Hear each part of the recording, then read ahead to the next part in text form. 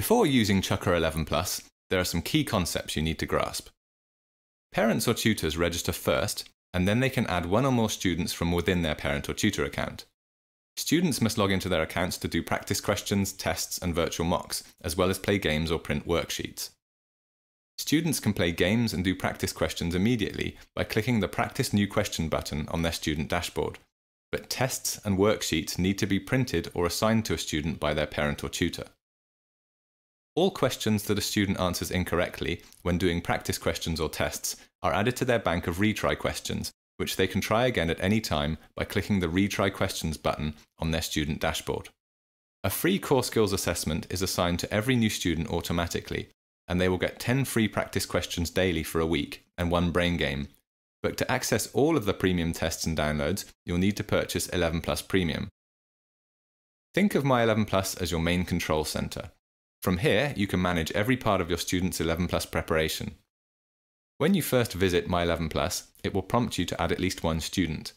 For every student you add, a new student block will appear showing you the student name, number, username, their recent performance, when they registered, and when they were last active.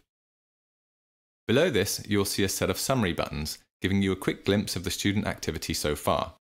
Clicking each button takes you to more detailed information and further functionality for the individual student. If you have more than one student, you can also perform actions for multiple students.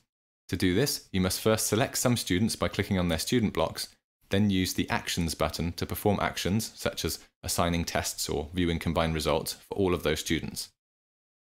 Topics opens a screen that shows really useful performance metrics for your student. Performance data is broken down by question topic making it easy to identify areas that require improvement.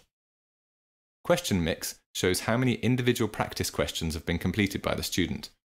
Clicking this button opens a screen that displays the student's question history in a color-coded grid layout to help you quickly visualize their performance. Tests shows you how many tests have been completed by the student.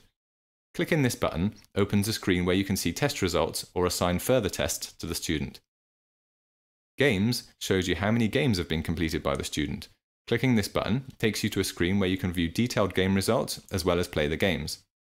Parents and tutors can try out the games from their accounts just for fun, but we only store game results for students, so students must log into their own accounts to play the games if they want to keep a history of their scores.